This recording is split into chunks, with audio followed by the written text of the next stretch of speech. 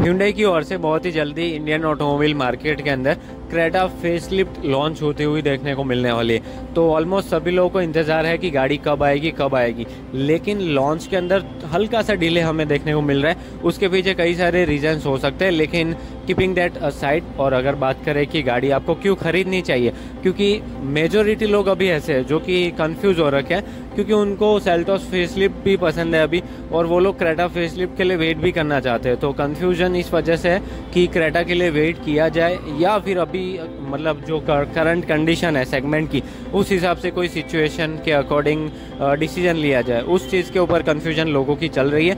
तो मैं आपको बता दूँ, इस वीडियो को स्किप किए बिना पूरा वीडियो एंड तक ज़रूर देख लेना।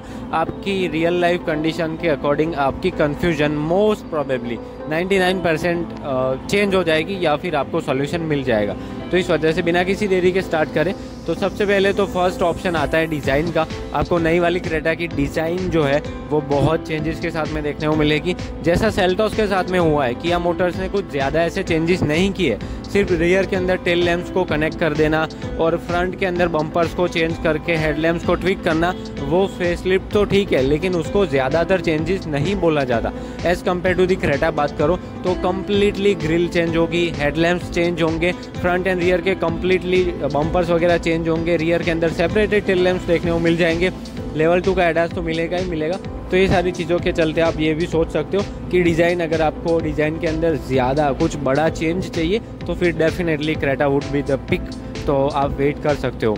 बाकी बात करें दूसरे ऑप्शन की तो वो हो सकता है फीचर्स नो डाउट किया और ह्यूंडई एक ही है, और सेल्टोस के साथ में जो फीचर्स है almost same features Hyundai Creta के साथ में भी देखने को मिल जाएँगे। लेकिन स्टिल मैंने फ़र्स्ट पॉइंट आपको बोला डिज़ाइन के साथ साथ आपको ऐसे फीचर्स भी चाहिए तो फिर डेफिनेटली अगेन एक जो ऑप्शन है, वो बच जाता है आपके लिए क्रेटा फेस का वेट करने के लिए।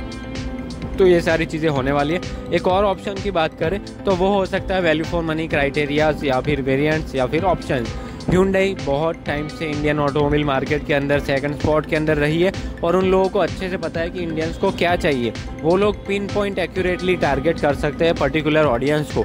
तो इस वजह से आप ये एक्सपेक्टेशन रख सकते हो कि जो सेल्टोस की प्राइस है, उसके कंपैरिजन में आपको थोड़ी सी अग्रेसिवली प्राइस हुई देखने को मिल जाएगी क्रेटा तो अग्रेसिवली से मेरा मतलब है सेल्टोस से थोड़ी कम और सेल्टोस से अच्छे वैल्यू फॉर मनी के जो ऑप्शंस वगैरह जो है वेरिएंट्स के जो सिलेक्शन वगैरह जो है, वो अच्छे से बेहतर मैनेज हुए देखने को मिल सकते हैं। और हिंडई इस चीज़ के अंदर पहले से बहुत अच्छी रही है specially with the Creta Creta को जब जब अपडेट किया है, उन लोगों ने प्रीवियस क्रेटा के कंपैरिजन में नई क्रेटा की प्राइसिंग बहुत ज़्यादा नहीं बढ़ाई है। तो ये मतलब ये एक और प्लस पॉइंट हो जाता है। तो इस वजह से इतनी इन्फॉर्मेशन थी दोस्तों आई होप आपके लिए यूज़फुल होगी, क्योंकि वीडियो बहुत लंबा नहीं था।